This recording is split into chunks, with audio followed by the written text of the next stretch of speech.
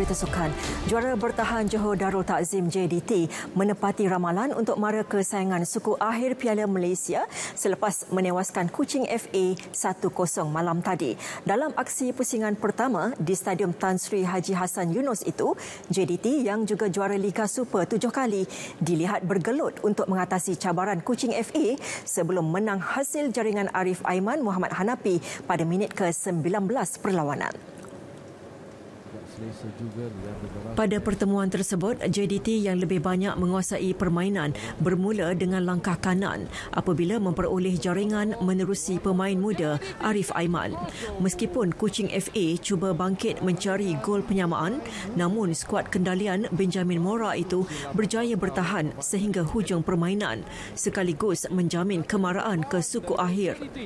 Kemenangan tipis itu bagaimanapun gagal memuaskan hati Mora yang mengakui anak-anak buahnya itu telah melepaskan banyak peluang jaringan di atas padang.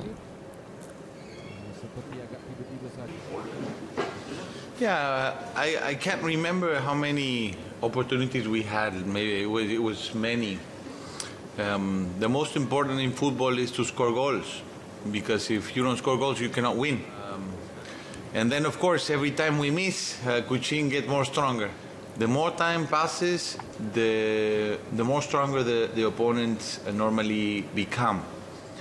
Sementara itu, jurulatih Kuching FA Akira Higashiyama tetap memuji aksi anak-anak buahnya yang tidak gentar dengan reputasi Harimau Selatan sebagai kelab gergasi di negara ini.